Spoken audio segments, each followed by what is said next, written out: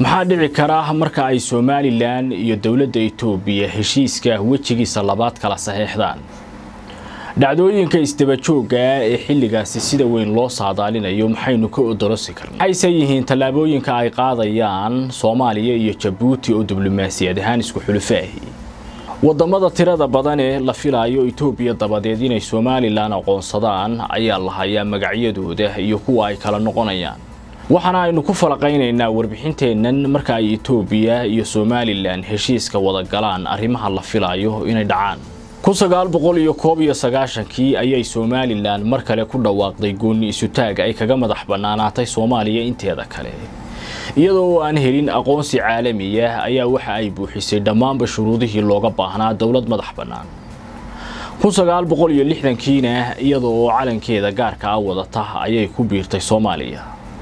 iyadoo ujeeddadu ahayd shantii soomaaliyeed in la midayo oo ay dadka reer somalilan jeclaayeen. Balse ficilada ay ku tallaabsadeen waxgaradkii iyo siyaasiyiintii somalilan ee xilligaasi ayaa waxaa ka soo gaadhay.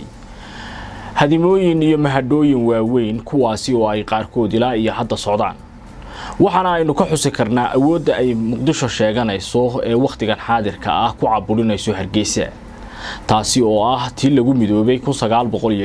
iyada oo la yahay laba dowladood nidaamka federaalisamka ah ee ay qaadatay muqdisho ayaa ah mid somalilan loola jeeday taasi oo aanay qayb ka ahayn waxna laga weydiin balse siyaasiyiintii iyo diblomaasiyiintii ka dambeeyey ayaa doonistoodu ahayd in deeqaha caalamka ka yimaada ay soomaaliya isugu qaybiso shan maamul goboleed. Si dadka reer somalilan ay marti uga noqdaan oo faraguudkood wax loogu siiyo. Marka si qoto dheer loo dirsanaa midnimada iyo wadajirka ay doonayaan waxgaradka iyo siyaasiyiinta muqdisho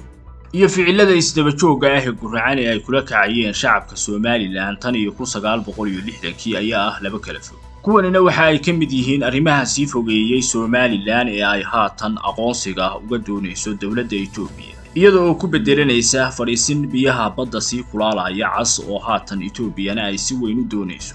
Madaxdii u kala dambaysay waddanka soomaaliya ayaa waxa ay ku dadaalayeen sidii ay u kala jejebin lahaayeen somalilan oo galbeedka iyo bariga uga samayn lahaayeen maamul goboleedyo si toosa u hoostaga magaalada muqdisho ee xarunta waddanka soomaaliya tan iyo kun sagaal boqol iyo koob iyo sagaashankii tallaabooyinka guracan ee dhinaca muqdisho ka imanaya ee hargeysa ku aadan ayaa iska soo daba dhacay. Balse soddon iyo saddex sano kadib somalilan ayaa mar kale helaysa aqoonsi caalamiya iyadoo muddo siddeetan iyo saddex sannadood ah ay dadka reer somalilan u soo samrayeen inay mar kale gacanta ku dhigaan xornimadii ay geeyeen magaalada muqdisho qodobada ugu waaweyn ee hor yaalla ra'iisul wasaare abiy axmed ayaa waxa kow ka ah inuu ku dhawaaqo aqoonsiga somalilan. Inta aan la kala saxeexan heshiiska waddamada ka dabadeed somalilan si rasmiya u aqoonsan doonana waxaa ka mid ah ingiriiska iyo imaaraadka sidoo kale kacdoonka aqoonsiga waxaa qayb ka noqon doona faransiiska sweden iyo biljamka ilowareedyo diblomaasiyadeed oo warbaahinta xogogaal helayso ayaa sheegaya inay waddamadani diyaar yihiin hase yeeshee ay sugayaan dhawaqa dowladda etoobiya haddaba maxay tallaabooyin diblomaasiyadeed qaadi doonaan geelle iyo madaxweyne xasan sheekh maxamuud oo haatan isku xulufo ah?